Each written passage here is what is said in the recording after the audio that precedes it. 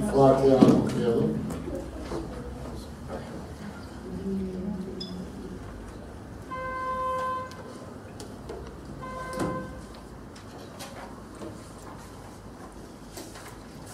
Evet, bugünkü konumuz görünmeyen varlıklar Kur'an-ı Kerim'de. Ee, kategoriye ayrılırsak bunlar melekler, şeytan ve cin olarak e, kategoriye ayrıldık. Ben melekler konusunu e, anlatacağım, bir giriş yapıp. E, Seyfullah arkadaşımız da şeytan konusunu anlatacak. Cin konusu da mecburen bize kaldı. Görevli arkadaşımız gelmedi. Bir de cine değiniriz. Yahut da önce cinden başlayalım ki aslında şeyi daha e, Anlamlı olur. Anlamlı olur. Önce o zaman cinden başlayalım. Sonra melek ve şeytan gireriz.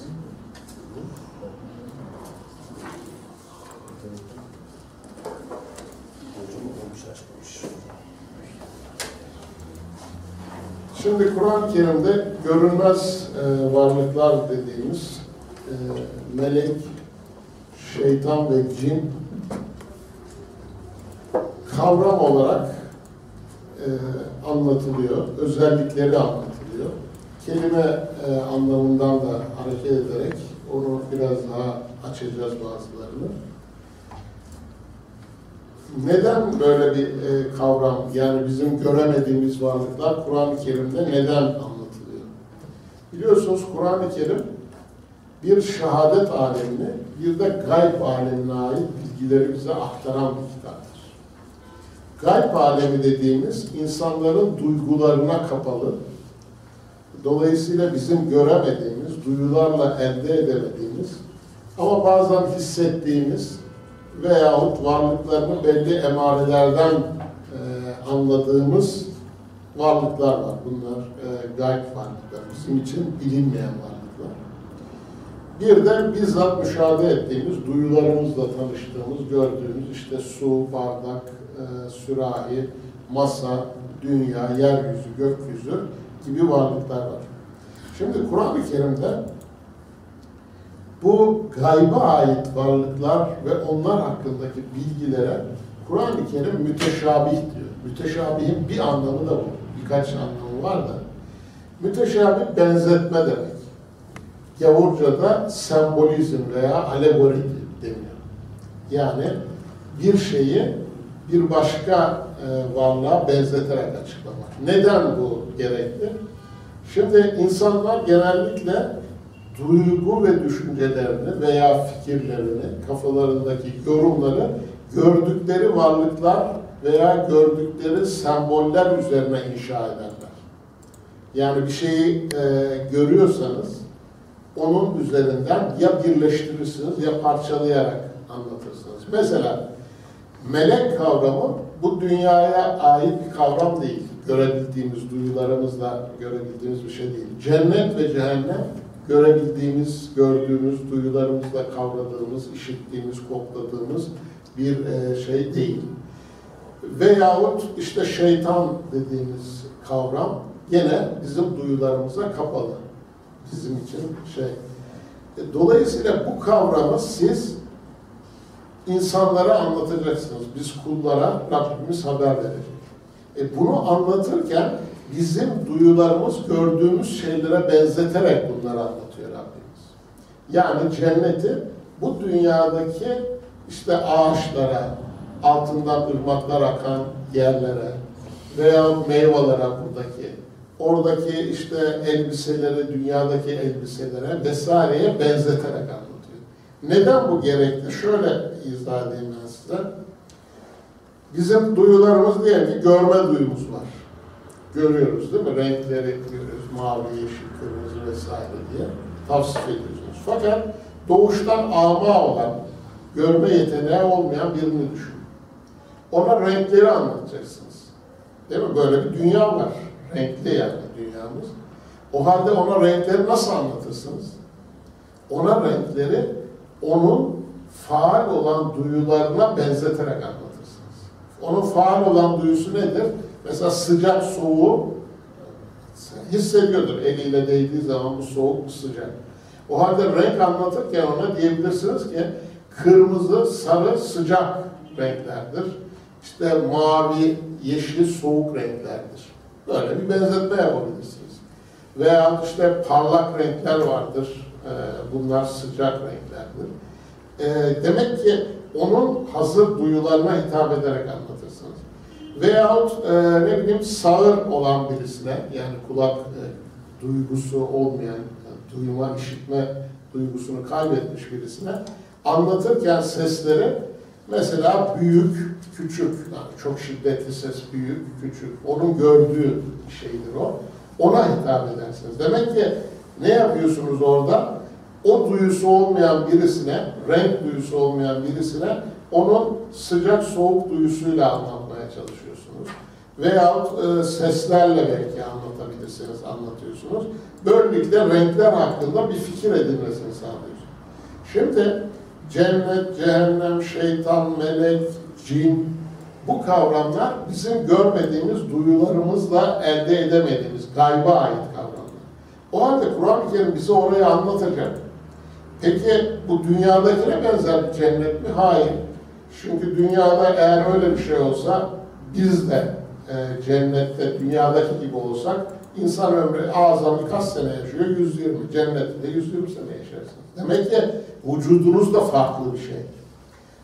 E, yemeniz, içmeniz de farklı. Oradaki yiyecekler de farklı. Ebedi kalacaksınız orada yani. E, dolayısıyla hem vücudunuz ona uygun yaşlanmıyor, e, aynı şeyde kalıyor, e, aynı yaşta kalıyor. İkincisi oradaki yiyecekler böyle yiyip tüketeceğiniz veyahut acıkacağınız yiyecekler gibi değil. Demek ki farklı bir dünya. O halde farklı bir dünyayı bize e, dünyadaki şeylere benzeterek işte ırmaklara, e, nehirlere, süslü ipekli elbiselere, işte rahat ortama benzeterek Kur'an-ı Kerim açıklıyor. İşte buna sembolizm diyoruz, alegori diyoruz e, Yahudisi. Kur'an diliyle de müteşabih diyoruz. Demek ki bir kısım ayetler benzetme ayetleri Kur'an-ı Kerim'de, bir kısmı da e, muhkem ayetler. Onlar da dünyaya ait, bizzat müşahede ettiğimiz işte e, faiz yemeyin, yetimi koruyun, e, fakirlere sadaka verin, zekat verin yani elle tutulur yapabileceğimiz şeyler. O halde bu kavramlar yani Kur'an-ı Kerim'in müteşabih dediğimiz bu kavramları Kur'an bize dünyadaki kavramlara benzeterek anlatıyor. O yüzden melek dediği zaman şimdi hemen sizin aklınıza gördüğünüz şeyler geliyor. Ya mesela bize bir e, vizyon çizdiler melek konusunda. İşte filmlerle vesaireyle, batının imajıyla nedir? İşte melekler böyle dişi varlıklar, kanatları olan şeyler. insan gibi, insana benziyorlar. Elleri, ayakları filan var. Şimdi aklımıza böyle geliyor. Cin dediğimiz zaman daha böyle e, hin ve şeytana karışık filan öyle bir varlık geliyor. Şeytan denildiği zaman işte e, onu da sembolize ediyorlar. Üç çatallı elinde bir oku var. Böyle gözleri hain bakıyor, boynuzlu filan. E, böyle bir şeylerle. Bu imajlar da hep dünyamızdan. Şimdi biz farklı da düşünmeye çalışsak, mesela farklı bir melek düşünün.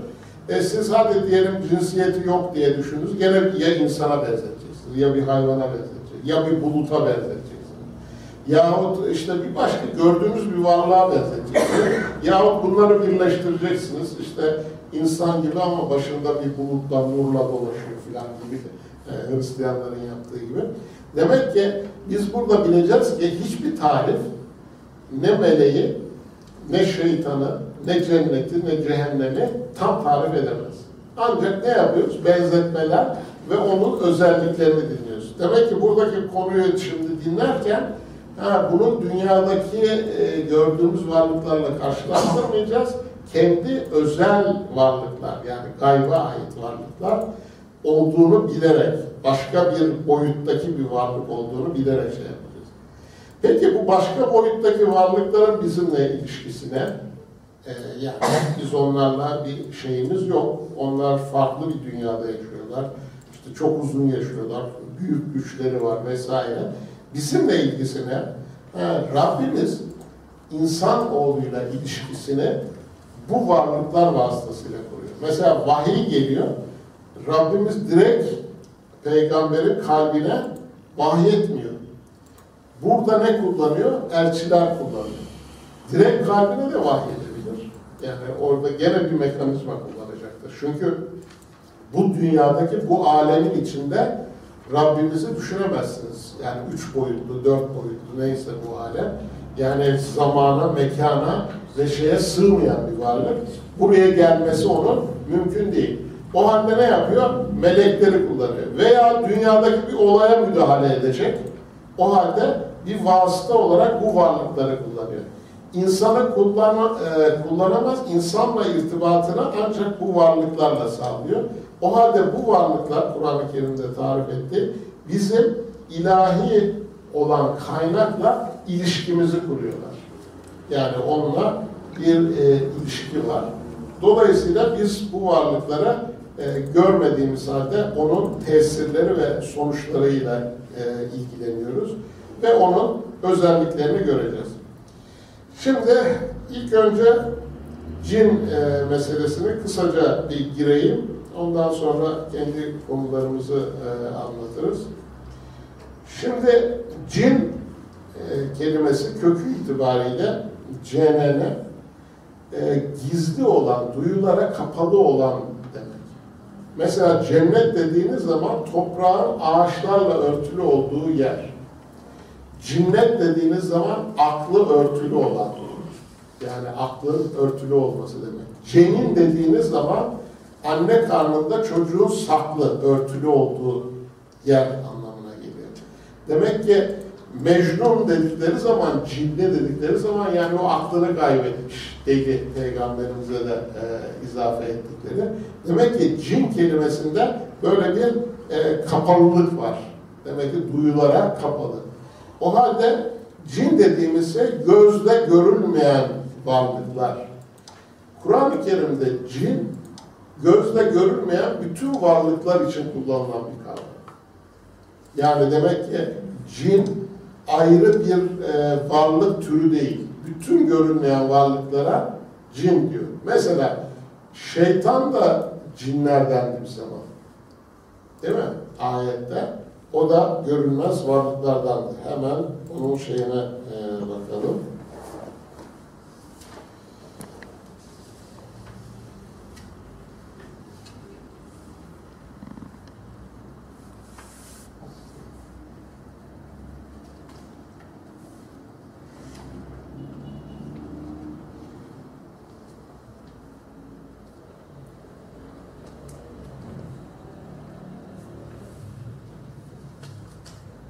Bunun ayeti size var mı? Şeytan cinlerden Şey mi? O- İşte Enam suresi 112 var. Ve işte böylece biz hem insanlar hem de görünmez varlıklar için zihin çevirmeyi amaçlayan Yok, Adem kıssasında. Adem kısası. Orada e, melekleri bahsediyor. Cinlerden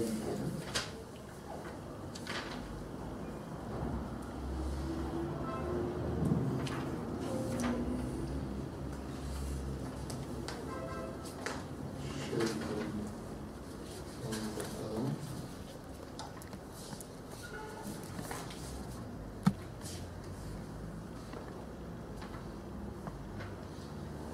Bakara 30. Halifeye yaratacağım derken şey, Bakara 30 mu? Şeytan da cinlerden diyor ayeti var. Evet. Evet, o hangi ayet? İşte Onu bunu- açıyor.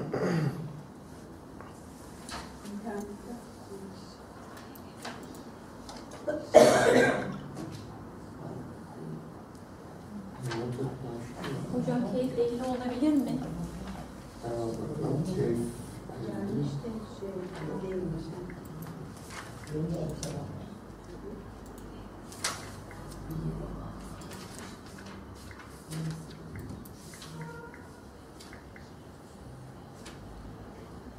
Evet, burası. Ha, İblis cinleri.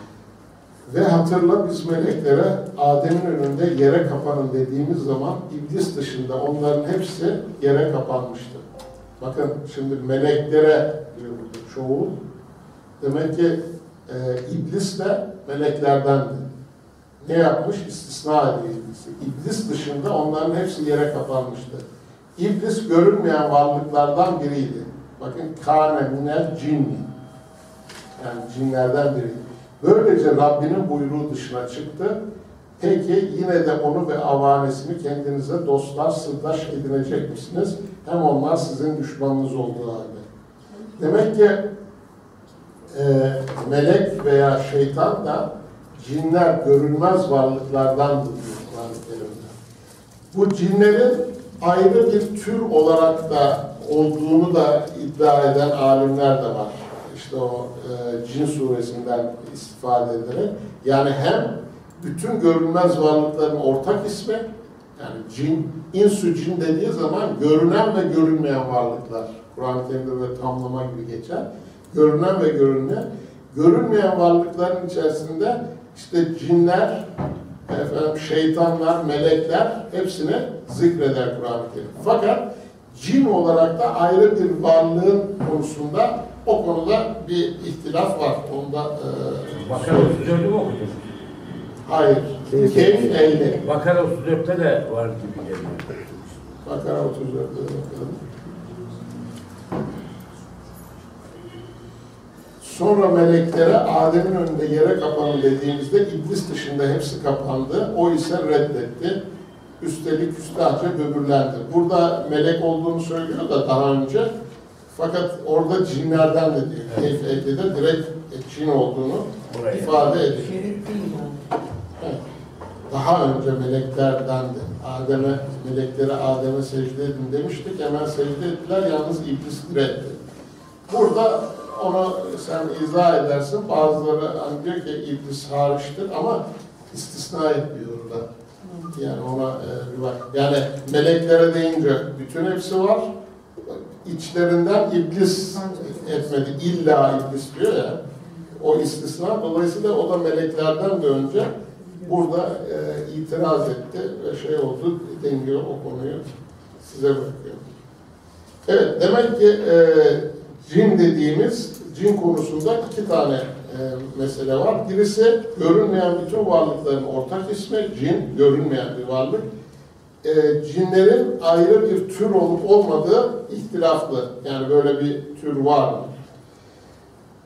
Cinler e, Kur'an-ı Kerim'de geçen, Cin suresinde de geçen Cin e, suresi 6. ayet. Hemen oraya bakalım. Cin suresi 6. Gerçekten büyük.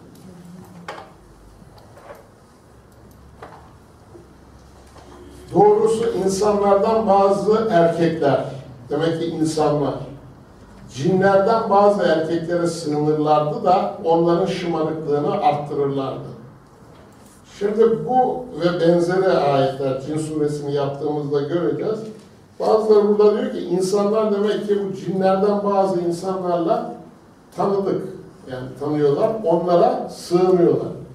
Dolayısıyla cinlerin burada azgınlığı artıyor, şaşkınlığı. O halde diyor deniyor. Şu yukarıdaki ayetle de bağlarsak onu. O zaman buradaki cinler görünmeyen varlık anlamında değil Cin suresindeki. Çünkü onun devamında da diyor ki onlar işte kavimlerine döndüler. E, kavimlerini Tevrat'ı tasdik edici buldular vesaire devam ediyor. Bunlar o zamana kadar orada görülmeyen yabancılardı. Yani cin kelimesinin o mahalle daha önce görülmeyen yabancılar içinde kullanıldığı vaki Arapçada. Hani yani e, cin diyarından geldiler gibi yani kaf diyarından geldiler gibi kullanılıyor. Demek ki cin kelimesinin içinde Kur'an-ı Kerim'in bazı yerlerinde yabancı diyardan gelenler içinde kullanılıyor. Bunlardan bir tanesi de Süleyman peygamberle ilgilidir o şeyi. Süleyman peygamberle ilgili anlatılan kıssada Süleyman peygamberin cinleri hatta cin şeytanlarını zincirlere bağladığı, onları duvar işlerinde işte e, şey yapmakta, e, heykeller yapmakta ve bazı dalgıçlık işlerinde kullandığı yazılır. Şimdi tarihe baktığınız zaman burada e, Tevrat var elimizde yani o dönemi anlatan Süleyman Peygamberi. Tevrat'ta bununla ilgili e, uzun bilgiler veriliyor. Bilgi şöyle, Tevrat'ta verilen bilgi anlatılıyor bayağı bu e, şey gibi, e, ayet, sure gibi. Orada diyor ki, Suriye'de Ur kralı, e, ismi de neydi onun? E, şu masonların da şey yaptığı usta var ya, Marangoz. Yok yok usta har e, Masonların simgesi olmuş evet. he, he, ne ustaydı? İran Usta mı? Heh, Hiram usta. Hiram isimli bir kral var. Tevrat'ta anlatılanı anlatıyorum size. Bu Hiram Suriye civarında yaşıyor. Bunlar denizcilik yapıyorlar. Deniz e, dağlarında da orada sedir ağaçları, gemi yapımında kullanılan bir ağaçlar var. E, bu ağaçlara da özel isimleri de var. Hem sedir diyor hem de kenzme e, o bahsediliyor Tevrat'ta. Dolayısıyla o ağaçları işlemesini bilen, gemi yapımında usta, oradan insanları, hatta sayı veriyor şeyde, 160 bin kişi diyor yani Tevrat'ta. Bu Hiram Usta, e, bunun başlarında Hiram Usta olduğu halde bu Ur kralı Hazreti Süleyman'a gönderiyor. Bunlar Hazreti Süleyman'ın emrinde ücretli çalışıyorlar. İşte onun için orada hani e, şeytanları diyor. Fakat bunlar rahat durmuyorlar. Farklı bir inançtalar. Sürekli Hazreti Süleyman hatta Davut zamanında Hazreti Davut hakkında işte o kafir oldu, o şeylere tapıyor, işte putlara tapıyor.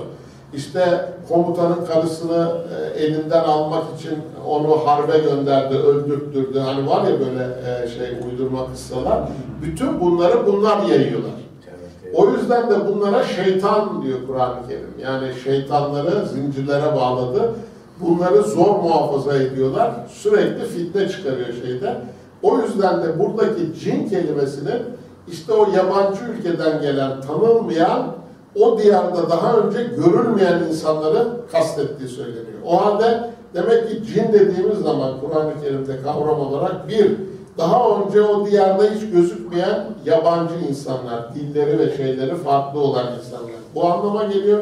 İki, görünmeyen bütün varlıkları kastediyor. Ee, işte melekler, e, şeytanlar vesaire de onlar da görünmez varlıklardan diye. Üçüncüsü, bir de bazılarına göre de cin diye bir tür var. Aynen insana benziyor. İnsan gibi bazıları iyi, bazıları kötü. Ee, dolayısıyla böyle bir türde var e, deniyor. Demek ki cin kelimesinden Kur'an-ı Kerim'de kullanılan e, anlamlarından çıkan sonuç e, şey olarak bu. Enam 112'ye bakar mısınız? O bu sizin dediğiniz sözü Kur'an-ı Kerim emrediyor. Enam 112 mi? Evet. Evet.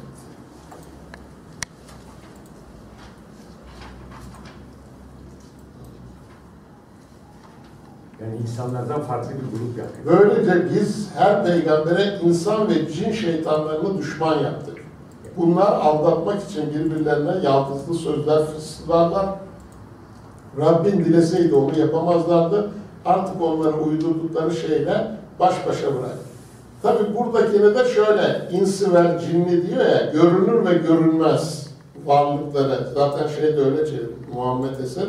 Hem insanlar hem görünmez varlıklar içerisinden zihin çelmeyi amaçlayan e, filan yaptık diye devam ediyor.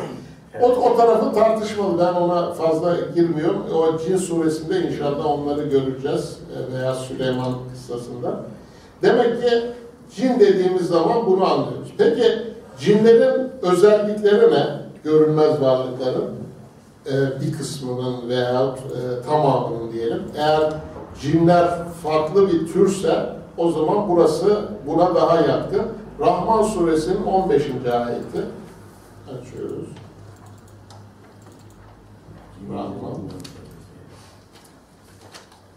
15.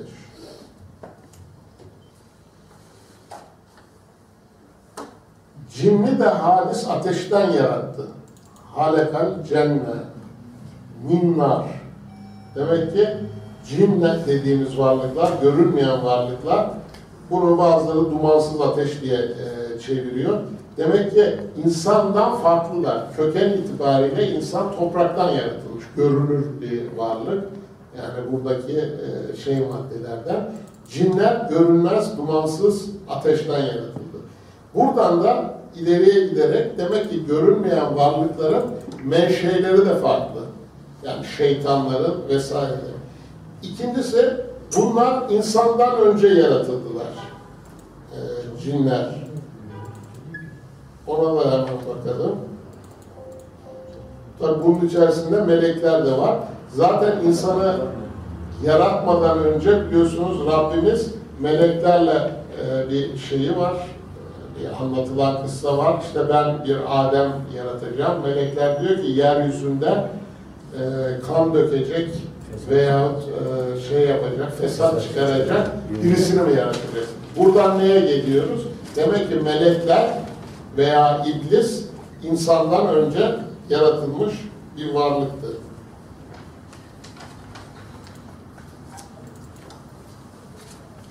Şimdi e, cinlerden sonra da bir de meleklerden bahsedeyim.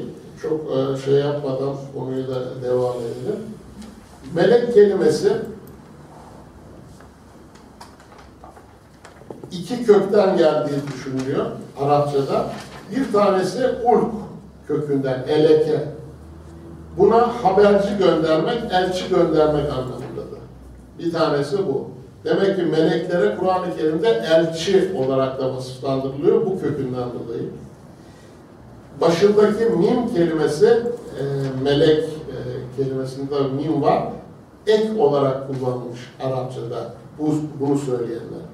İkinci türemesi de meleke kökünden geldiğini söylüyorlar. Mim bu sefer asıl kökten yani kelime olarak. O zaman mülk, melik, meleke. Yani Türkçe'de de bunu kullanıyoruz. Güç ve yönetim e, anlamlarına geliyor. O halde demek ki melek kelimesinin içerisinde iki tane kök var. Bir tanesi haberci ve elçi anlamına geliyor. Melek e, şeyi. İkincisi de güç anlamına geliyor. Melek kelimesi iki kökten. Şimdi buradan ne çıkar? O zaman Kur'an-ı Kerim'de kullanılan melek kavramlarına ikiye ayıracaksınız. Bir kısmı e, Rabbimizin ilahi güçleri olarak göreceğiz melekleri. Yani mesela ölüm melekleri, ölümü hazırlayan bir güç, insanları öldüren veya ölümü meydana getiren. Veyahut işte e, mesela yeryüzü ve gökyüzünün kıyamet sahnesinde görevli olan melekler. Veya mesela cehennem kapısında veya cennette müminleri karşılayan melekler. Demek ki bunlar da güç sahibi. Bir de haberci olarak kullanılıyor melek kelimesi. Mesela Hazreti Zekeriya'ya veyahut e, Meryem'e gelen melekler. Onlar da ne yapıyor? Haber. Demek ki iki köke de dayanarak Kur'an-ı Kerim'de melek kelimesi kullanılıyor. Peki meleklerin özellikleri ne diye bakıyoruz Kur'an-ı Kerim'de bahsedilen. Fussilet suresi 38'de. Bazısı bu çağrıya kulak kapatacak kadar büyüklük tasladığı halde içlerinden Rableriyle birlikte olanlar gece gündüz hiç bıkmadan, usanmadan onun sınırsız şanını yüceltirler. Demek ki Rablerinin yanında bulunan e, melekler gece gündüz onu tesbih ederler ve bundan usta, usanmazlar. Yani buradan şunu anlıyoruz. Melekler e, öyle uykusu gelen insan gibi varlıklar değil, sürekli hareket halinde. Buradaki tesbih Rableri adına hareket ederler. Buradan da şu e, neticede çıkıyor. Tabiat olayları dediğimiz bizim bugün doğal güçler dediğimiz olayları aslında melekler idare ediyor. Veyahut biz o doğal güçlere melek diyoruz. Yahut meleklere doğal güç diyoruz. İkisi bunları yerleştiren şeyler. Ee, bıkıp usanmadan Rabbini tesbih ederler. Gene Enbiya suresi 26-27'de buradaki melek e, ile ilgili söylenen e, iki tane özellik var. Bunlar hem meleklere hem elçilere gidiyor. Yani el, meleğin bir anlamı da elçi demiştik ya. O halde Enbiya suresi 26'daki özellik hem e, şeye gidiyor, elçilere yani Hazreti İsa'ya mesela hem de meleklere gidiyor çünkü melekler Allah'ın kızlarıdır demişlerdi. Şimdi oradan hareket ediyoruz. Rahman çocuk edindi dediler. O yücedir. Hayır, Rahman'ın çocukları sanılan melekler onun değerli kullarıdır. kullarıdır. Şimdi burada melek kelimesi geçmediği için bu e, Hazreti İsa'ya da gidiyor. Yani Hazreti İsa'yı oğul edindi dediler ama o e, şey e, ne derler? Hazreti İsa veya elçiler Rahman'ın değerli kullarıdır. Elçiler diye geçiyor. Ondan önce söz söylemezler ve onlar onun buyruğunu yaparlar. Bu meleklere de gider. Yani melekler e, Allah'tan önce konuşmaz ve onun sözünü aşmazlar, onun dediklerini yaparlar. Aynı zamanda peygamberlere de gider. Zuhruf suresi 19. ayette meleklerin dişilik erkeklik vasıflarının olmadığı, bakın Rahman'ın kulları olan melekleri dişi saydılar. Onların yaratılışlarına mı şahit oldular ki böyle hüküm veriyorlar? Şahitlikleri yazılacak ve bundan sorulacaklardır. Demek ki meleklerin dişilik ve erkeklik e, vasıfları yok.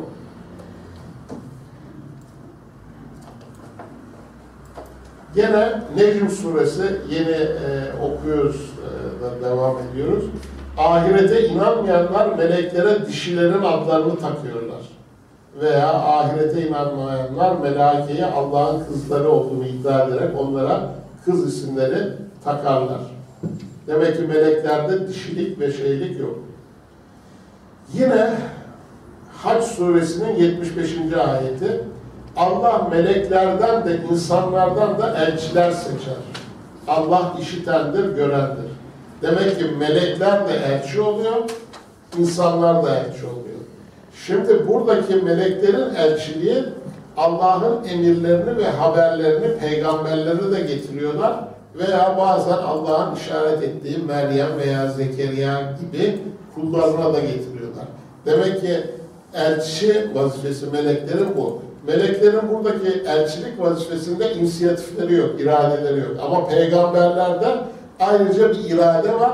İşte peygamberler o iradeyi kullandıkları zaman nebi diyoruz biz onlara. Resul oldukları zaman aynen melekler gibi kendilerine bildirileni aynen e, diğerlerine aktarırlar. Demek ki nebide bir e, insan vasfı var.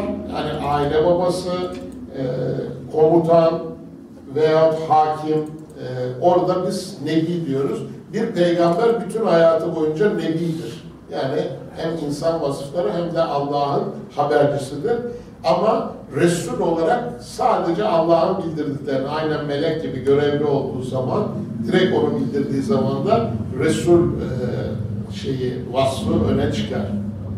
Demek ki melekler de böyle bir elçilik görevi yapıyor. Zaten anlam itibariyle oradan geliyor.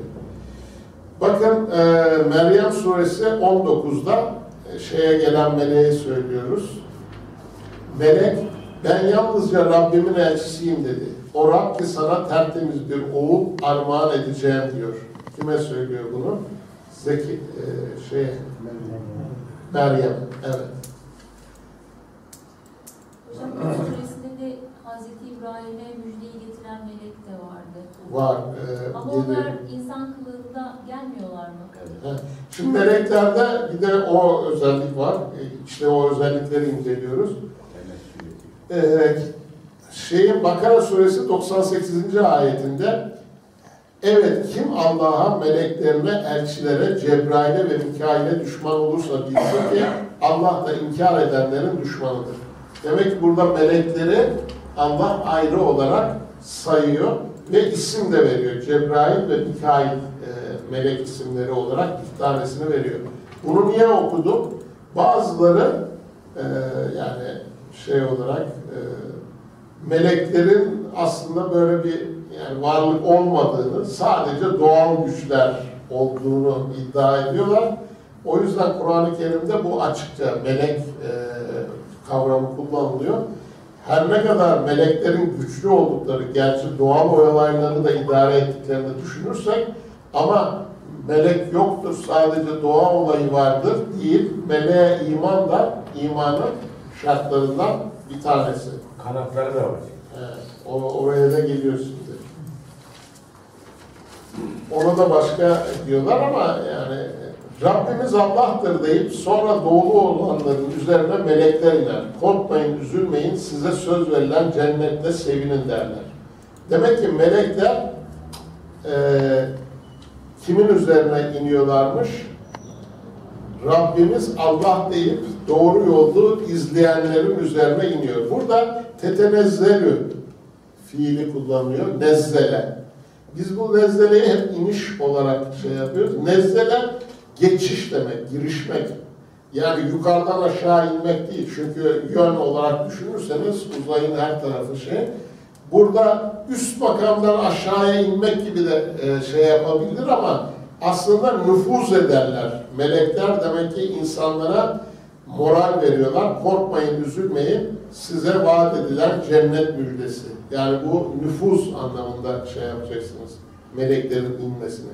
Kadir gecesindeki meleklerin inmesi de gene Rabbimizin katından e, ayetlerle birlikte aşağıya emirlerle birlikte yapılacak işlerle birlikte inmelerini inme e, değil nüfuz etmelerini şey yapıyor. Çünkü aşağısı yukarısı bu işin yok. Başka bir ilahi alemden bir giriş var.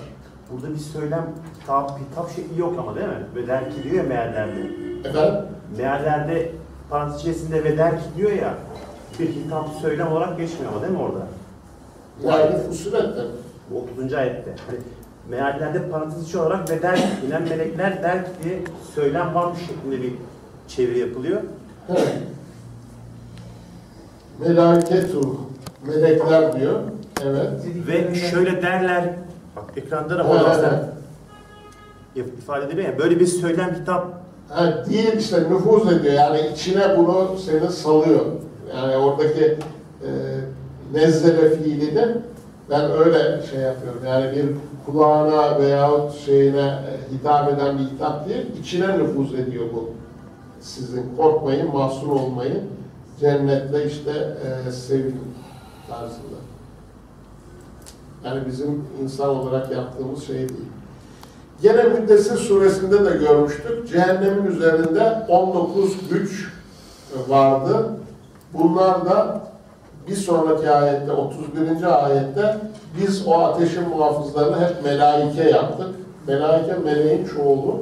Dolayısıyla burada da cehennemin muhafızlarının da melek olduğunu şey yapıyoruz.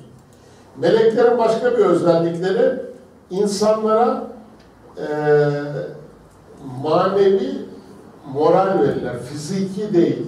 Bunu e, şey yapalım. Bazıları mesela Bedir Savaşı'nda işte başlarında bir e, Cebrail olduğu halde başlarında beyaz sarık atın üstünde Cebrail'in şeylere saldırdığı, müşriklere saldırdığı böyle rivayetler falan var. E, Bedir Harbi'nde Müslümanlara meleklerin yardım ettiği şeydir, gerçektir, Kur'an'la sabittir. Ama böyle fiziki veya bizzat e, şey yaparak değil, onları sekinete kavuşturarak, moral vererek, güçlendirerek karşı tarafı da tam tersine morallerini bozarak bir yardım yapmış olurlar. Çünkü eğer öyle olsaydı meleklerin yardımına ihtiyaç e, şey müminlerin savaşmasına gerek yoktu. Bir tane melek hepsini dağıtırdı. Meleğin gücüyle e, şeyi karşı tarafı fiziki gücüyle yok e, kıyas etmeniz mümkün değil. Fiziken girseydi zaten öyle bir şeyin durması mümkün değil. Kıyameti bile sağlayan, alemleri bile ortadan kaldıran, yeryüzünü, gökyüzünü parçalayacak güçlere sahip Rabbimiz onları verdi. O yüzden bu e, Ahzab suresinin 43. 44. ve 56. ayetini e, okuyorum. O Allah'tır ki sizi karanlıklardan aydınlığa çıkarmak üzere üzerinize rahmet eder. Melekleri de size acıyıp mağfiret ederler. Allah inananlara karşı çok esirgeyendir. Aslında burada ne diyor? Yusalli. işte bunu bir türlü şey salli fiilini hep namaz aldıkları için e, demek ki buradaki e, Allah'ın ve meleklerinin insanlara e, acıyıp mağfiret etmesi veya namaz kılması veyahut e, dua etmesi mümkün değil. Salli kelimesinin üç anlamı vardır. Bir tanesi dua, bir tanesi namaz, bir tanesi de destek. O halde buradaki destek anlamında. Allah ve melekleri müminlere destek veriyor. Bu destekleri de moral ve manevi destek. Aynı zamanda mesela e, kendisine kavuşacakları gün selam ile karşılanırlar. Allah onlara güzel bir mükafat hazırlamıştır. Bu da ahiretteki şeyleri. Gene Ashab 56'da Allah ve melekleri gayet açıkça yazıyor. Şüphesiz peygamberi kutsarlar. İşte burada da yusallune alem nebiyi yani onu desteklerler. O halde ey iman etmiş olanlar siz de onu destekleyin. Kendinizi onun rehberliğine tam bir teslimiyetle terk edin. Yani onun emrinden çıkmayın. E, çünkü e, Rabbi melekleri vasıtasıyla onu destekliyor diyorlar. Demek ki meleklerin desteklemesi de böyle bir destek. Meleklerin bir de kanatları Fatır suresinin birinci ayetinde geçiyor. Her türlü övgü göklerin ve yerin yaratıcısı olan meleklerin iki, üç ve dört kanatlı elçiler yapan Allah'a mahsustur. O dilediğini kesintisiz şekilde kendi hilkat alemine katıp onu genişletir. Kuşkusuz Allah her şeye kadirdir. İşte bu da müteşabih benzetme. Meleklerin kanatları, meleklerin güçleri. Yani onların e, vazifelerine uygun olarak kendisine verilmiş olan güçler. Dolayısıyla buradaki e, meleklerin e, müteşabih olduğu için yani buradaki kanattan kasıt nasıl bir güç, nasıl onlara bir yetenek verilmiş onları bilemiyoruz. Ama hepsinin farklı farklı yetenekleri ve güçleri var. Onu biliyoruz. Başka e, meleklerin farkları var. Mesela Evlenmezler. ee, bazıları şeyleri afetler var. Allah'ın azap ettiği bir kavim için. Mesela hangi surede? O Lut kavminin söylüyor. Hud suresi 81. ayet. Bunun üzerine melekler Ey Lut bak biz senin Rabbinin elçileriyiz. Korkma düşmanların sana asla yetişemeyecekler. Artık ailenle beraber gecenin bir vaktinde yola çık. Aranızda kimse arkasına bakmasın.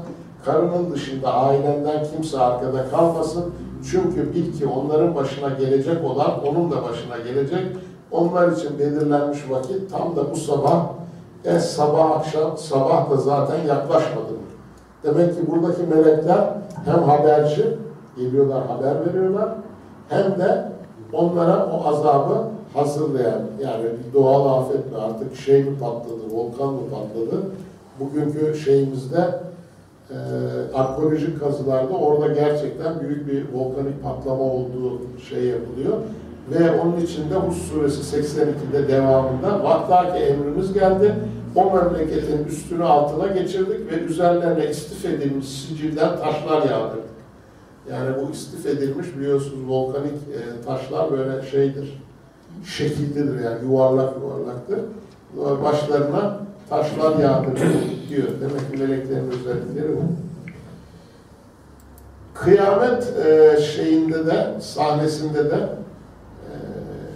cennetlikleri mesela anlatılırken o gün cennet halkının kalacakları yer daha iyi, dinlenip sefa sürecekleri yer daha güzeldir.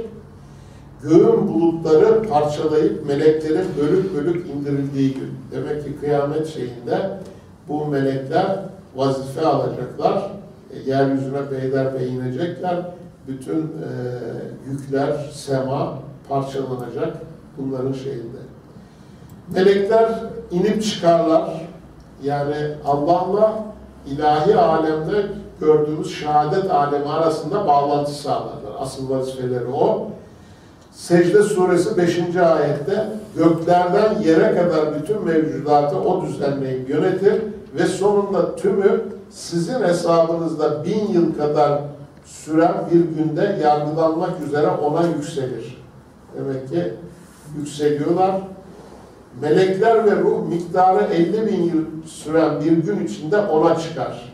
Demek ki Allah'a e, çıkıyorlar. Onlar da yükseliyor. Demek ki buradaki çok uzak bir mesafe veya çok uzak bizim şeyimizde 50 bin yıl sürecek veya buradaki e, binlerce sene e, demek yani bu ço çoğuldan e, gelme tam 50 bin olması şart değil.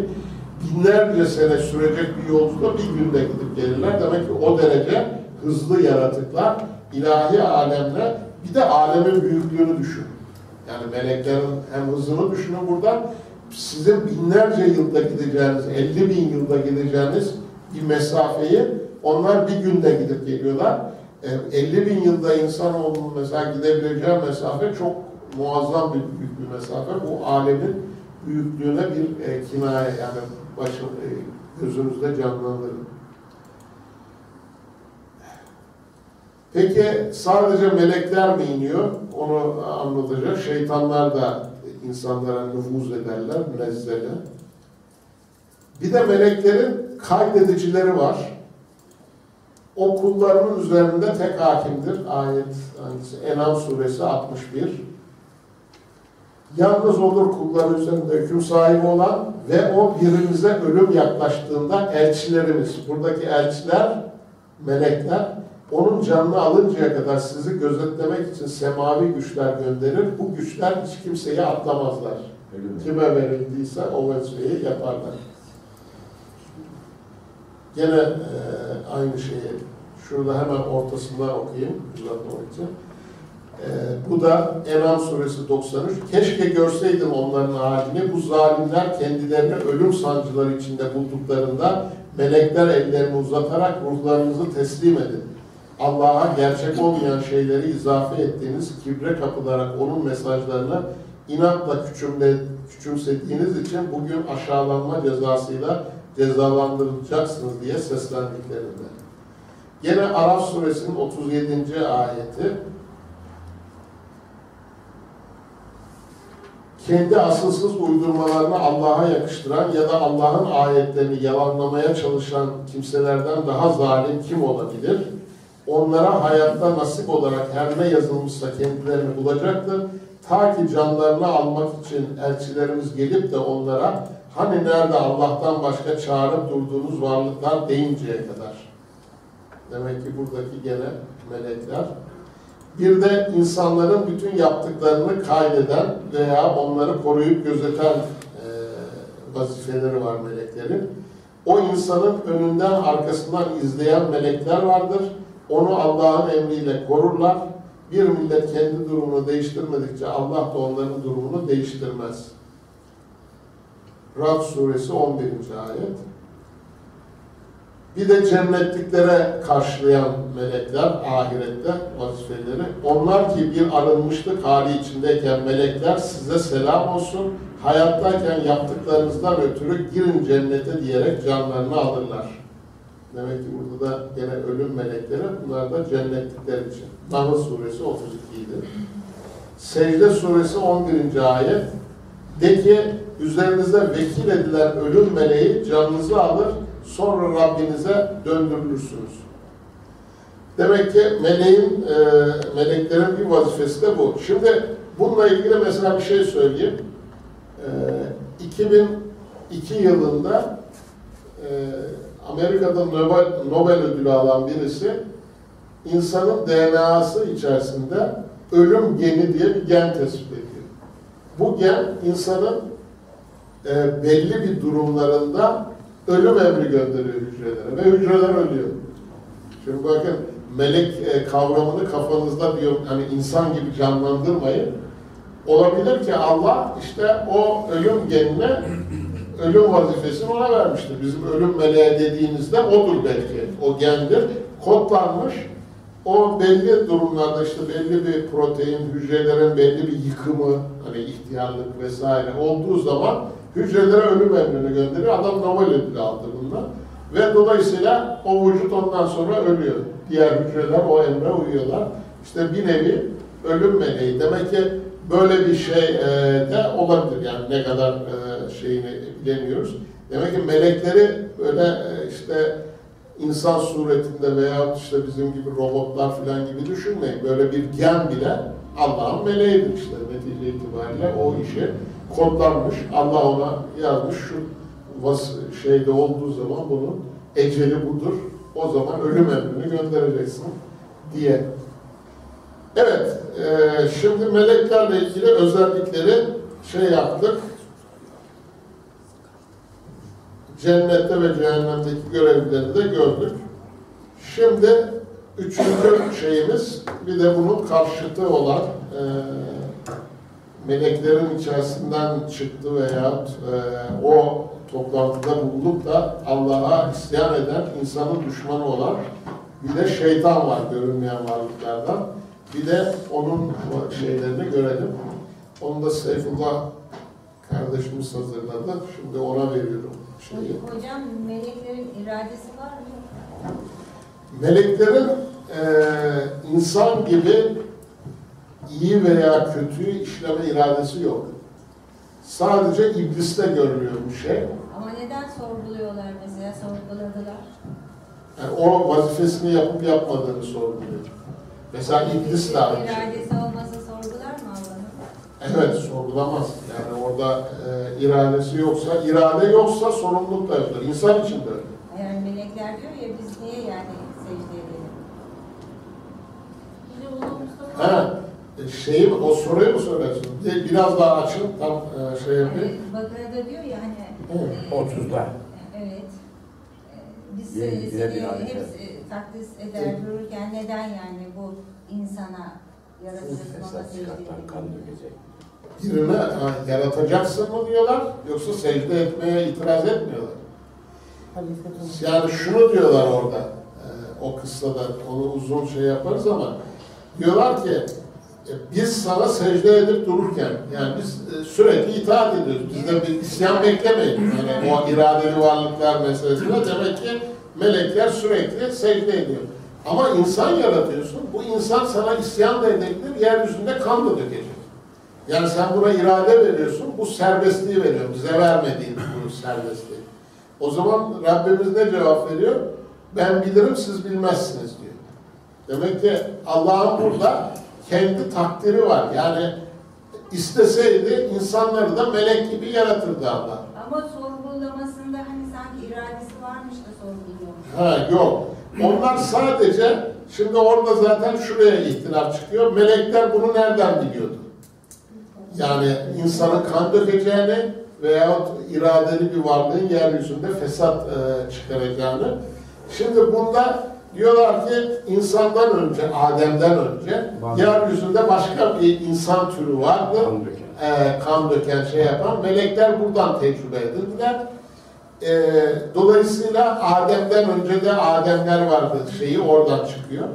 İkinci bir grupta diyorlar ki hayır Allah onlara bildirdi. Yani insan vasfı budur. Onların bilmediğini de Allah öğretiyor ya onlara. Benim yaratacağım bu kul yeryüzünde kan dökecek, işte fesat da çıkaracak, iyileri de olacaktır. Melekler oradan biliyor. İkisi de mümkün. Yani meleklerin Allah onlara bildirmiştir, o bilgiyi vermiştir, onu da bilebilirler. Yani ille de ondan önce bir e, Ademler topluluğuna e, böyle bir şahitlik etmeleri şart değil. Buradaki meleklerin ikincisinde secde etmeleri hepsi yerine getiriyorlar. İblis secde etmedi. Neden? O menşeini ileriye sürdü. Yani ben ateşten yaratıldım, o topraktan yaratıldı. E, dolayısıyla onun orada secde etmemesi Allah'a karşı bir isyan algılandı. Peki secde etmek neydi? E, meleklerin güç varlıkları olduğunu düşünürseniz yeryüzündeki güçler insanın emrine verildi. Yani o doğal e, işte olaylar dediğimiz tabii olaylar aslında meleklerin e, yapıp ettiği veya Allah'ın kurguladığı olaylar insanın emrine verilmişti. E, dolayısıyla e, şeytan buna karşı çıktı. Allah da şeytana nereye kadar süre verdi? Şimdi zaten Hocam ben bir şey oraya. ama bu şu konunun unutulmaması açısından ben bir iki cümle girmek istiyorum. Biraz bu ufuk yani keşke bu konuların her biri ayrı ayrı bir kavram olarak inceleseydik. Şimdi birincisi ben yaptığım incelemede cin diye yaratılmış iradeli karar veren itaat eden, Allah'a asi olan bir varlık var. Yani cini tanınmayan, bilinmeyen yabancıya da denmesi Kur'an-ı Kerim'de bizim muhatabımız olan cinlerle ilgili şeyi hafifletir. Şimdi bize birkaç ayet okuyayım müsaade Yani ederseniz. orada bir tür diyor. Hayır ama yani varlık. Şimdi diyor ki Cenab-ı Allah Allah cinler arasında bir sol bağ, bağı icat ettiler diye Saffat 158'de insanları kınıyor. Demek ki böyle bir varlık var. Cinler daha önceden içeriye giren yakıncı ateşten yarattık. Hicr 27'de diyor. Andolsun ki biz cehennem için en önemlisi bu. Cin ve insanlardan birçok kimseler yaratmışızdır. Şimdi bence aslında bugün eğer cinlerle ilgili bir sohbet yapılacak olsa Müslümanlardan veya gayrimüslimler Müslümanlardan ister inansın ister inanmasın binlerce insanla insanın bunları fiziksel olarak görmese bile bir karanlıkta yürürken arkamda biri var gibi hisler ürkmesi, bu tip varlıklarla Kur'an'ın dediği gibi bir temas var. İkincisi, şimdi eğer şeytan denen bir varlık ölümsüz bir varlık. Eğer şeytanın çok şeyatin diye Kur'an'da geçiyor. Ama Allah'ın şeytandan şeytanlar üretmesi Allah'ın Rabliğine yakışmaz. Yani tutup da hiçbir imtihana tabi olmadan bir grubu atanız şeytandır, sizler de o şeytanın soyları olun derse o insan, o varlıklar şeytanla beraber bir suç işlemiş olur. Onun için ben buradaki Allah'ın şeytana yardım eden gruplarının cin şeytanları ve insan şeytanları o eğer öbür türlü olsaydı bütün şeytanlar yani o cin şeytanlardan kıyamete kadar ölümsüz olurlardı. Bence cinler bir varlıktır. Yaşayan varlıktır. İnsanlarla teması vardır ve cehennemde de yanacaklar. Bütün müfessirler de bunu söylüyor. Melekler de bir varlıktır. Meleklerin içerisinde melek olmayan güç kuvvetlere de Kur'an-ı Kerim melek diyebilir. O zaman Cebrail'le karşılaşması peygamberimizin bir melekle karşılaşmasıdır. Onunla bir yani temel, biz cinleri de şöyle düşünmekte fayda var. Cinler de temessül ediyorlar. Yani milyonlarca insan var bu işi yaşayan. Bunları da dört üniversite bitirmiş. İlim irfan sahibi adamın anlattıklarını duyduğun zaman ya adama deli demek lazım. Ben bu işleri biraz tefekkür edip varlıklarını anlamaya çalışsak faydalı olur diye düşünüyorum. Evet. Yani o iki şey devam şey ediyor. Şeytanla ilgili şeyleri cevap verecek zaten. İnisiyatif ve irade kullanmayan varlıklar, melekler. Enbiya suresinde bir pasajdan bahsettiğiniz de daha önce bir arz etmeye çalışmıştım. Yani ben de Allah'ın yanında bir ilahım gibi bir söylem söyleyebilme inisiyatif ve iradeleri var mıdır meleklerin? Ben de Allah'ın yanında bir ilahım diyebilmeleri Yok, var. yoktur. İşte Enbiya suresinin 29. ayetindeki o pasajda geliyor.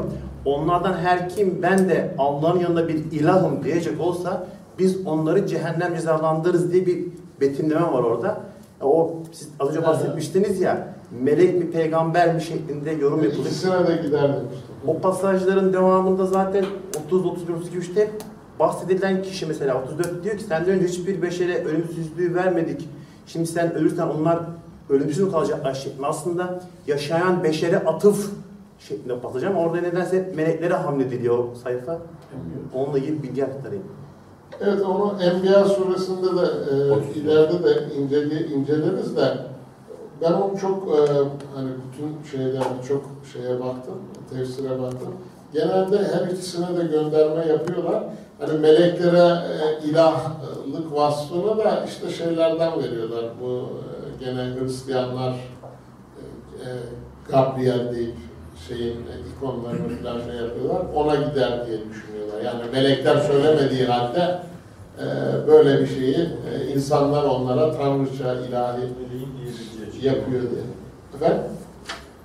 Meleğin diyebileceği çıkıyor ayetten yani. O, Ha, yani e, orada tam tersini söylüyor. Yani biz böyle bir şey söylenmez gibi şey. Elçi de söylemedi. Elçi de diğer ben ilahım. Değil mi? Ama elçisi. insanlar elçinin bunu söylediğini iddia ediyor ya Hazreti İsa için. Evet, yani evet. Yani bir beşer de olsa yani peygamber bunu söylemez şeklinde aslında oraya atıf var gibi. Anladım. söylemez ama Ben şeye de baktım. bunu söyleyebilir yani. Ama Zaten zaten Kadir söyleyemiyor. Hocam 30, 31, 32, 33 ayetlerde kainatı ele aldıktan sonra konu itibariyle konu devam ediyor. Bitmiyor yani. 25'te başlayan konu devam ediyor. 34'te diyor ki çünkü elçilerle başlayan bir pasajdı. 34'te de senden önce hiçbir beşer ölümsüzlüğü vermedik. İlahtır ölümsüz olan ya. Hiçbir beşer ölümsüzlüğü vermedik. Şimdi sen ölürsen onlar ölümsüz kalacak şey hep oraya atıf var yani 25'ten itibaren. Kopmuyor. Bütünlük var pasajda aslında. Yani Mustafa İstanbul'da ikili şey gönderme yapmış sadece. Hatta Meryem suresi 91-92 referans vererek Hazreti İsa'ya Hristiyanların o yaptığı ilahlık şeyini gönderdi. Oraya da veriyor da öbürüne de veriyor. Neyse önemli değil yani nereye giderse gitsin. e, Ben şöyle e, yani kendime prensip edindim. Doğrusunun da o olduğunu düşünüyorum. Önemli olan bir şeyin çünkü bazı şeyler gaybi ve bizim bilmemizin dışında. Yani şimdi o melek, cin ve şeytan vesairesinde de aynı şekilde. Önemli olan burada e, her şeyi bilmek değil arka planda. Kur'an'ın bize bildirdiğini, oradan bizim ne ders çıkaracağımız. Yani bize ne o ayet ders çıkarıyor. Mesela deminki Enbiya suresindekine Allah'ın yanında başka bir ilah, ister melek olsun, ister peygamber olsun diye ona tapmayın. Bunu da ilah olarak kabul etmeyin. Yani biz hep kendimize çıkacağımız dersleri e, almalıyız. Mesela cin ayrı bir tür mü? Yoksa işte e, bütün o görünmez varlıkların hepsine verilen bir isim mi? diye de böyle tartışırlar. O beni, o da ilgilendiriyor. Bana cin suresinde Allah ne vazife yüklemiş? Yani biz Allah'ın bile verebildiğini anlayabildiğimiz kadar anlıyoruz. Biz ondan kendimize çıkan dersi var. Orada Cin suresinde bazı dersler var yaşayan insanlara yani bizlere. Biz o derslere bakacağız. Arka tarafı o kadar önemli değil. Cinin şekli, şemali bir tür mü, ayrı mı, aynı tür mü? Dolayısıyla hep böyle bakarsak o zaman çok daha kolay olur. Öbür türlü işte şu var mıydı, bu var mıydı, o kadar çok soru var ki insanın kafasında çözemiyorsunuz. Çünkü insan e, bilgisi sınırlı. Yani hepsini çözdüm veya ben tam anladım demek mümkün değil. Biz e, ilmimiz ilerledikçe biraz bilgimiz genişliyor ama nerede ben e, ilerledikçe mesela şimdi bu melek bahsini daha önce de incelemiştim. Şu içine girince şimdi kafamda daha fazla da sorular şey oldu yani bazı konularda. E, demek ki bu niye? E, biz insan sınırlı bir ne kadar şey yaparsan yap gerçeği kavrayamıyoruz. Buyurun. Yani siz bahsederken aynı soru. Bazı şeyleri de bilmeyelim dedim içimde. Ve bir de Üstad Necip Fazıl öyle de gördüğünü izahtan aciz insan görmediğine nasıl dil uzatır der. Şimdi orada dil uzatmayalım. Bazı şeylerde biraz öyle... Ama hocam şöyle bir şey. Ama vazife varsa orada bize bir ders çıkıyorsa o dersi alalım. Hakikat hocam ama şunu Şeyimizden hakkını yiyoruz da yemeyelim hakkını yemeyelim ama şunu atlamayalım. Şimdi şeytanın ve cinin en büyük özelliği kendisini inkar ettirmesidir. Evet. Yani cini küçümsemek, onu hafife almak insanlık için çok tehlikeli bir şey. Yani onun için İlahiyat Fakültesi'nde okuyan asistan, doçent, profesör olan insanlar çıkar der ki o bir mikroptur. Mikrop sorgudan, hesaptan, sorguya çekilip cehenneme, cennete gitmez. Bu, biz şunu şöyle bileceğiz. Bizim karşımızda şeytan kadar ciddi bir muhatap var ve biz bu muhatabı hafife almadan ona karşı gardımızı almakla yükümlüyüz. Öbür türlü yanılırız. Hocam ben de bu, bu söylediğine katılıyorum. Bu konuyla ilgili bizim ben bu işi çok incelemiş Şu anda ya da gelecekte böyle bir tepki çünkü e, evren boşluk kabul etmiyor. Bizim sağımızda öyle bir ayetimiz de var. Ben öyle hani şu ayet diye de bilemediğim için e, e, kusura bakmayın. Sağdan soldan geliyor hani e, bizi kandırıyor falan gibi durumlar da var. O Bu konuyla şeytan- ilgili hocam bir tedbir almak, e, daha derin bilgiler varsa e, Hocam, bu hurafeler, şeytan- hocalar, hacılar falan da bu işin içine bu şekilde koyup da e, bizim yapabileceğimiz insani olarak Evet, kendimize bunu ne söyleyecek çekebiliriz? Seyfullah Hocam. Evet. Sağdan soldan nereden geliyorlar? Evet, buyurun. Onu dinleyelim. Ondan sonra. Selamünaleyküm cümleten. Seyfullah Subaşı ben. Torbalı Kuba temsilcisi. Ee, Kur'an'a göre görünmeyen varlıklardan şeytanı ben sizinle inşallah ee, bu konuyu paylaşayım. Bu resmi bilinçli koydum çünkü Cenab-ı Allah sen ve seninle birlikte olanlar cehennemin yakıtı olarak yanacaksınız diyor. Hani mühlet verdikten sonra topyekun cehennemde dolduracak. Ee, ateş cehennemi çalıştıran en önemli sembol. Ee, o anlamda şeytan nedir? İblis nedir? Şeytanla ilgili ayetleri paylaşacağım ve korunma konusu şeytandan. Şimdi şetene, şeyete gibi farklı kelime e, grupları kelime anlamı olarak şeytanın uzaklık manasında şatene maddesinden feyal vezninden geldiği ve uzak demek olduğu uzak. Bu kelimeleri üzerinde tabi düşüneceğiz. Uzak. Gerçekten de şeytan neyden uzaktır? Haktan, hakikatten, gerçekten, el hak olan Allah'tan uzaktır, uzaklaşmıştır. Onun mesajını inkar ederek, onun emrine boyun eğmeyerek bir defa uzaklaşmıştır zaten. Hocam paylaştı aslında, biraz da tekrar gibi olacak ama affınıza sığınarak emre boyun eğmeyince, saygı duymayınca, yeryüzünde halife kılan, kılacağı e, bir varlığa saygı duymayınca ne oldu? Uzaklaştırıldı. Yanlış, batıl anlamına geldiği de ifade ediliyor. Batıl veya yanlış kelime olarak. Şeytan herhangi bir azgın yani azgınlıkta, şer ve kötülükte fevkalade bir yükselişte kendi sınıf ve benzerlerinin dışına çıkmış kötü, inatçı manasında bir cins isimdir. Bu şeytanın bir tanımı. Bir daha tekrar edeyim. Herhangi bir azgın, yani azgınlıkta, şer ve kötülükte fevkalade bir yükselişle kendi sınıf ve benzerlerinin dışına çıkmış kötü, inatçı manasında bir cins isimdir. İnatçı biridir. İnatçı bir varlıktır. Ee, kötülükte zirvedir. Azgınlıkta, had aşmakta, sınır tanımamakta, hududulları tanımamakta bir ilktir. Böylece aslında şeytan izinli bir varlık, izin almış Rabbimizden, mühlet verilmiş bir varlık. Devam edelim. Şeytan ismi gizli, kötü bir kuvvet, kötü bir ruh düşüncesinde ifade edilir. Tabi bu düşüncesini de ifade eder derken düşüncedir, soyut bir şeydir, varlık değildir anlamı yok yani. Yani şeytan bizi kuşatınca, bize yaklaşınca hani en sonunda diyeceğim aslında Hannas, Hannas tabiriyle insan zaten e, meleki özellikleri meleklere yaklaşmayınca şeytana yaklaşıyor. Melekler Rablerini hocam anlattı tesbih ediyorlar hamd ile sürekli. Şeytan tam tersini yapıyor. Emre boyun eğmeden ondan uzaklaşarak ona isyan halinde bir varlık. Böylece kötü bir kuvvet, kötülüğün sembolü, kötülüğün temsilcisi bir varlıktır. İnsana da sirayet edip, nüfuz edip, vesvesesiyle onu kuşatınca insanda kötü oluyor. Kötülüğün merkezi ve kaynağı haline dönüşüp yeryüzünde fesadı, ifsadı yayabiliyor.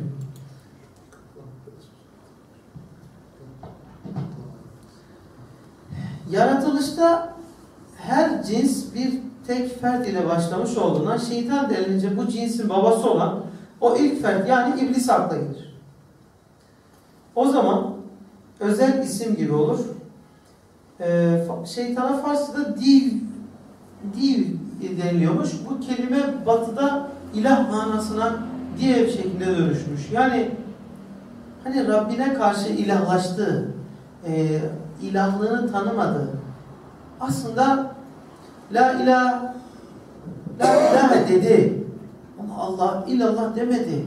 Kendisini mutlak gördü. Allah'ın emrine boyun eğmeyerek eee, ondan Rab'den, hakikatten, haktan uzaklaştı. Yine şatanın fiil kökünden geldiğini söylüyor. Başka başka yerlerden bunları toparladım da kelimeleri yer vermek için aceleci anlamı var. Dik kafalı anlamı var. Küstah, afboyun, hain gibi anlamları konusu. Yine isyankar, asi, Allah'ın rahmetinden kovulmuş gibi anlamları da söz konusu şeytanın. Rahmetten kovulmuş. Racim diyoruz ya.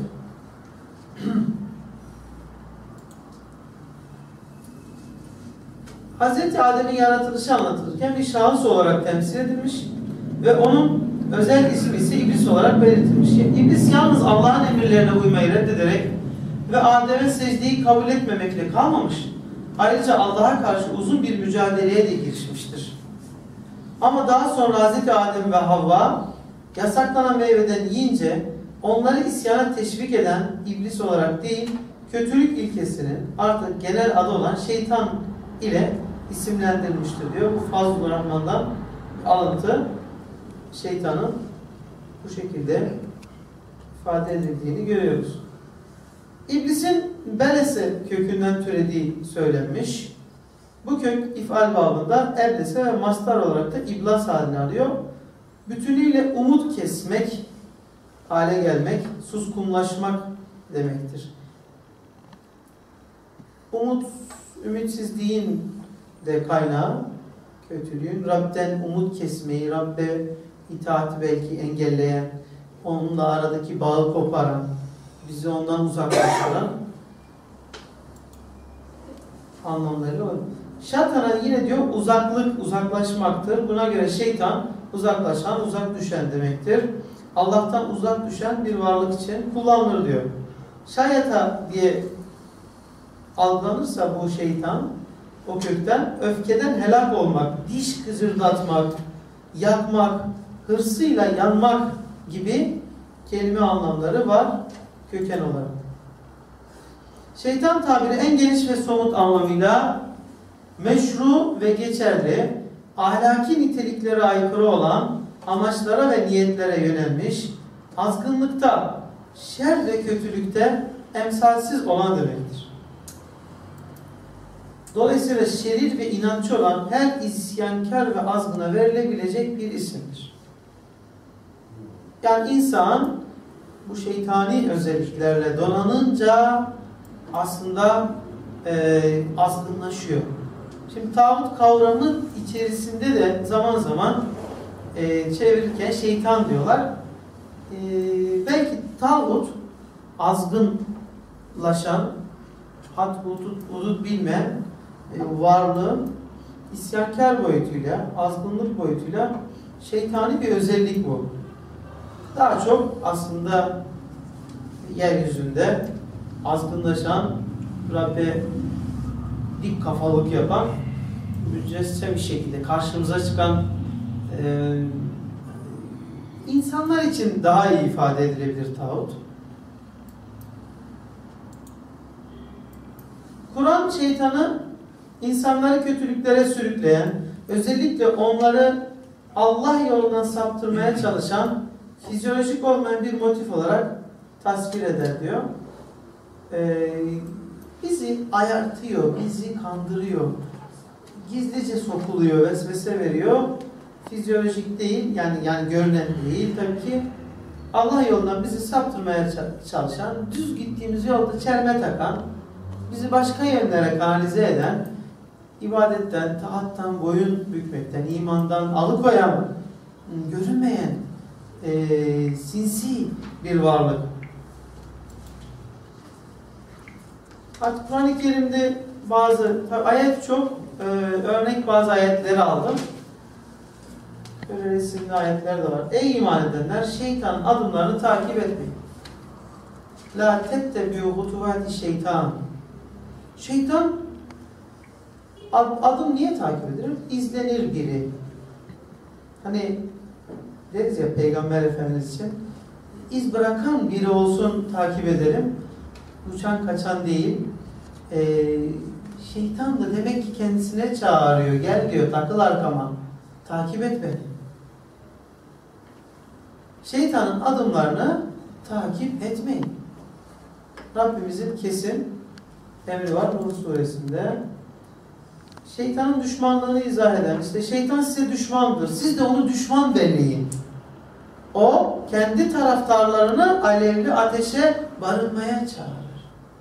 Şeytan ateşe çağırır, ateşe davet eder. O sizin düşmanınızdır. Onu düşman belleyin. Düşman bilin, düşman olarak yerleştirin. Ve şeytanın da demek ki bir grubu var, grup kuruyor. Tek başına değil, bir zihniyet. Tek başına değil, çoğul, çoğullaşıyor ve taraftarları, şeytanizm var. Ee, hani Rabbin melekleri Adem'e secde edin demişti de İblis hariç hepsi secde etmişti. O ise cinlerden idi ve Rabbinin emrinden çıkmıştı. Ee, şimdi siz beni bırakıp da düşmanınız oldukları halde onu ve soyunu mu dost edineceksiniz? Zalimler için ne kötü bir takastır bu. Hocam okumuştu bu ayeti zaten. Şeytan gerçekten insanları şaşırtan apaçık bir düşmandır. Şeytan şaşırtıyor. Biz fark edemiyoruz. Çünkü gizlice sokuluyor. Çünkü görülmüyor. Çünkü belki Allah'ın verdiği geçici izinle dünya hayatı boyunca eee, çeşitli şekillerde, çeşitli suretlerde, çeşitli vasıtalarla bize ulaşıp bizi rahatsız ediyor. Eğer şeytandan gelen kötü bir düşünce seni dür- dürtecek olursa hemen Allah'a sığın. Çünkü o her şeyi işitir ve bilir. Fussilet 36. Burada benzer ya burada nezhun diye bir şey geçer. Şeytan bir vesvese, bir gizlice ihva denir yine. Ee, ile gelirse gizlice sokulursa sana Allah'a sığın. Sığınmaya değineceğiz yine. İşte şeytanın işi bu vesvese. Vesvese. Fısıldar, gizlice yaklaşır, bilmezsin. Yani gizli saklı yapar bu işi. Aleni yapmaz. Yapmadığı için de rahat sokulur, rahat sizi tesiri altına alabilir. اَلَّذِي يُوَسْوِسُ فِي صُدُورِ النَّاسِ İnsanların göğüslerine, içlerine, kalplerine sokulur, vesvese verir. Hani Rabbin meleklerle insanlara sekinet indiriyordu ya, onların iç dünyalarını, kalplerine huzur indiriyordu. Meleklerin yardımlarından bahsedilir işte kat kat ordularla Rabbimiz işte savaşlarda yardım etti falan. Müminlerin gönüllerine cesaret geliyor, güç geliyor, kuvvet geliyor. O destekle Rabbim, Rabbimizi yanımızda, arkamızda hissediyoruz, içimizde hissediyoruz melekler sayesinde. Güç kuvvetle bizi donatıyor. Ama şeytan o da benzer bir şekilde sudura, göğüslere, kalplere, içimize sirat edecek şekilde gizlice sokulabiliyor. Vesvese şeytandan gelen kötü bir düşünce. Bu düşünceye karşı bizim yegane sığınağımız, kapımız bizi bu tip gizli ayartıcı düşüncelerden koruyacak olan sonsuz güç sahibi olan Rabbimizin gücünü arkamızda hissedecek şekilde ona sana sığındım demektir. Ey iman edenler hepiniz topluca barış ve güvenliğe, silme, İslam'a girin ve şeytanın adımlarını izlemeyin. Çünkü o size apaçık bir düşmandır. Sizi yalnız kötülük işlemeye, iğrenç ve çirkin işler yapmaya ve hakkında bilgi sahibi olmadığınız şeyleri Allah'a isnat etmeye çağırır şeytan. Şeytan Allah'a bazı bilmediğimiz şeyleri isnat ettirmeye, etmeye çalışıyor. Hani bizim Allah tasavvurumuzu da bozmaya çalışıyor. Onun aslında bize uzak olduğunu eee şey yapmaya çalışıyor, söyletmeye çalışıyor belki gizlice.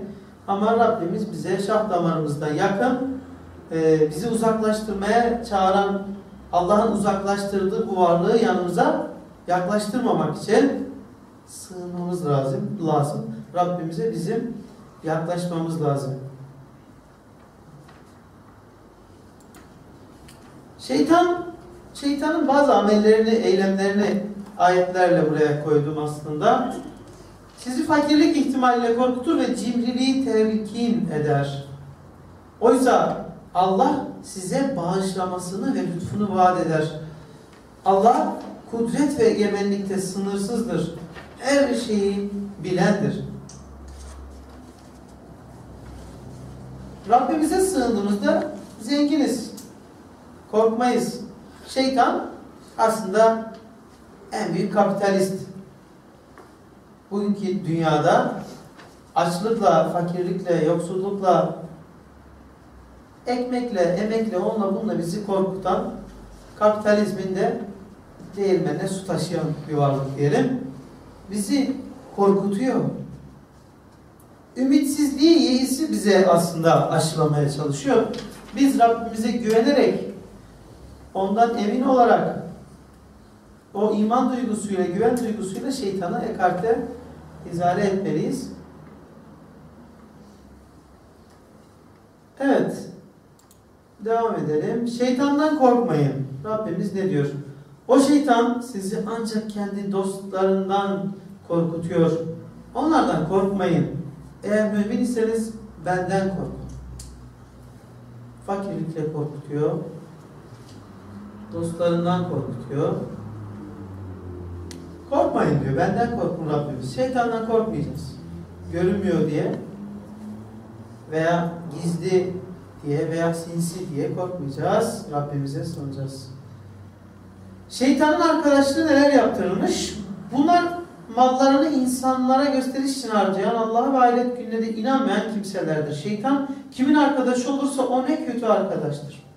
Şeytana dost olduğunuzda, arkadaş olduğunuzda tabi Rabbin emirlerini de göz ardı ediyorsunuz. Rabbimiz ver diyor, infak et diyor, harca diyor. Şeytan verme diyor. Fakir olursun, kaybedersin. Sana ne diyor? Sen mi kurtaracaksın, sen mi yapacaksın diyor. Allah'a ve ahiret gününe de inanmayan kimseler olduğunu söylüyor. Şeytanın arkasına takılanların aslında. Yani şeytan eğer sarıp kuşatırsa, dost olursak ona ee, bizi cehenneme sürükleyecek bir rol üstlendiği için aslında tek dünyalılığı bize öneriyor şeytan. Ye, iç, gez, toz, haz, hız. Bunları yaşa diyor. Eğlen diyor. Gününü kurtar diyor. İnfak, ibadet, Allah'a iman. Onları hep devre dışı bırakıyor. Düşünme diyor, akletme diyor. Şeytan işi pislik olan amellerden de bahsedeceğim zaten. Şeytana tapınma. Onlar Allah'a bırakıp dişi putlara, tanrıçalara yalvarıyorlar. Aslında onların yalvardıkları şirret şeytandan başkası değildir. Putlara tapınanlar gerçekte şeytanın oyuncağı olmuşlar. Şeytan elinde onları oynatıyor demek. Yoksa hiçbir faydası, zarar olmayan varlıklardan hiçbir medet umulmaması gerekir. Şeytan boş vaatlerle aldatır. Şeytan onlara birçok vaatte bulunur ve onları kuruntulara sürükler. Oysa şeytan ancak aldatmak için onlara vaatte bulunuyor. Şeytan aldatıyor, aldatıcı. Boş boş şeylerle oyanıyor insanları. Şeytanın işleri neymiş bakın. Siz ey imana ermiş olanlar, sarhoşluk veren şeyler, şans oyunları, putperest uygulamalar ve gelecek hakkında kehanette bulunmak, şeytan işi iğrenç kötülüklerden başka bir şey değillerdir. O halde onlardan kaçının ki mutluluğa eresiniz. Şeytan bunları yaptırıyor. Fal, içki, kumar, şans oyunları. Bugün bakın çevrenize. At yarışlarından tutun iddiaya, şuna buna. insanlar saatlerce ekran karşısında geçiyor at yarışı. Bazen ben geçiyorum böyle ganyan bayilerin önünden falan. Kitlenmişler oraya. Ellerinde o kuponları şu bu. Adamın aklı, zihni, hayatı her şey orada. Var ya o her şey o. O kupona sığdırmış bütün her şeyini. Oradan ayrılamıyor. Aslında oraya gizlenmiş. Oraya hapsolmuş o kuponun içine. Hayatı oradan ibaret zannediyor ve orada kaybolmuş. Yok olmuş.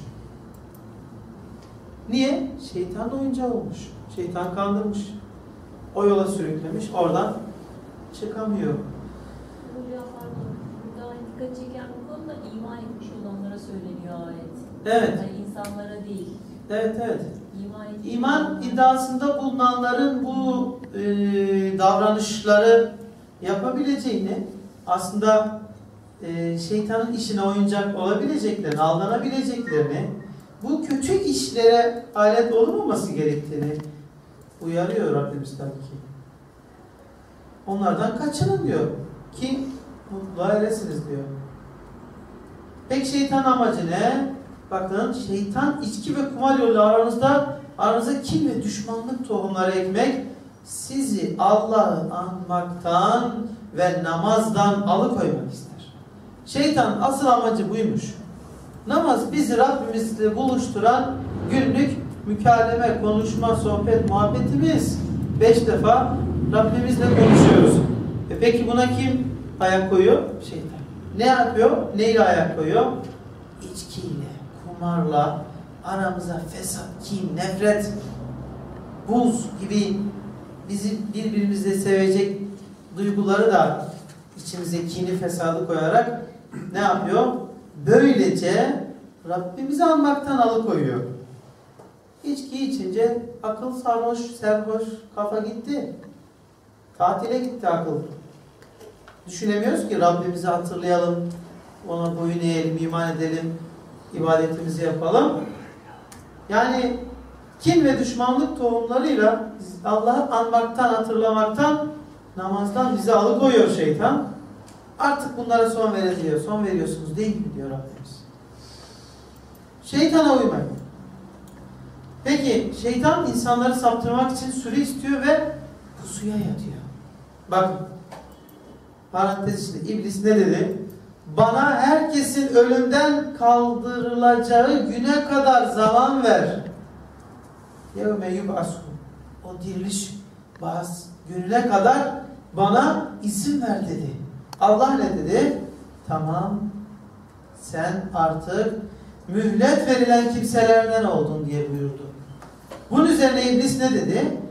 Madem ki benim yoldan çıkmamı istedin dedi. Ben de gidip senin doğru yolun üzerinde onlar için pusuya yatacağım. Tabi iblisin dilemesini Allah diledi. Kader anlayışına göre Allah onu saptırmadı aslında. Pusuya yatacağım diyor. Pusucu bu. Gizli ya. Allah dedi ki çık oradan gerilmiş ve kovulmuş olarak çık oradan. in oradan. Kovdu. Huzurdan Andolsun ki insanlardan kim sana uyacak olursa onları ve sizi birlikte cehenneme dolduracak. Şeytan ve şeytana uyan, adımlarını takip edenleri nereye? Cehenneme dolduracak. Kovdu. Peki. Toparlıyoruz. Bitmek üzere uzadı.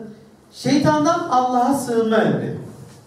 Ve imma yenzaganneke mineşşeytani nezhun festaiz billah innehu semiyun alim. Eğer şeytandan gelen bir dürtmeye, bir kışkırtmaya uğrayacak olursan Allah'a sığın. Allah'a sığın. Çünkü o her şeyi işiten, her şeyi bilendir. Sığındığımızda Rabbimiz bizi işitecek, bizi duyacak ve bizi bu şeytanın işlerinden muhafaza edecek inşallah. Evet. Ve kul Rabbi e'uzu bike min hemezati şeyatin. Ve de ki ey Rabbim tüm kötü dürtülerin hemezat, tüm kötü dürtülerin, kışkırtmaların kışkırtmalarına karşı sana sığınıyorum. Şeytanların şeytanların yani o kış, dürtü olarak ifade etmiş burada. Kışkırtma, hemaza. Onlara karşı sana sığınıyorum. Bunu dediğimizde Euzu billah diyoruz ama güzel bir dua ezberleyelim inşallah. Müminun suresi 97. ayet. Rabbi e'uzu bike min hemazati şeyatin.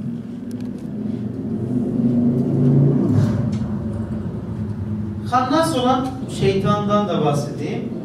Bu Nas suresi 1-6. ayetlerde zaten Rabbimiz diyor ki Kul euzu bi rabbin nas. De ki cinlerden ve insanlardan insanların kalplerine vesvese veren sinsi vesvesecinin kötülüğünden insanların Rabbine, insanların melikine, insanların ilahına sığınır. Rab, melik, ilah. İnsanların Rabbine, melikine, ilahına sığınırım.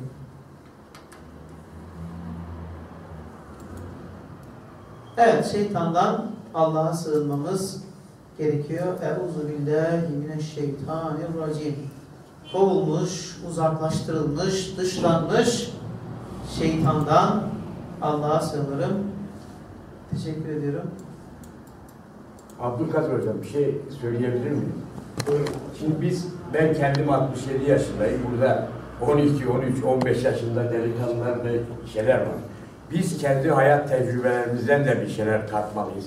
Şimdi birincisi, buradaki Allah'ın şeytana verdiği müddet insanların kalktığı ana değil, insanların öleceği ana. Yani o öyle bir hak talep ediyor Allah'tan, Allah onu kabul etmiyor. Diyor ki son saate kadar. Birincisi bu. İkincisi çok eskiden de aklımda kalan bir şeyi söyleyip gençlerle bir şey paylaşmak istiyorum. Ona gireceğim çok kısa.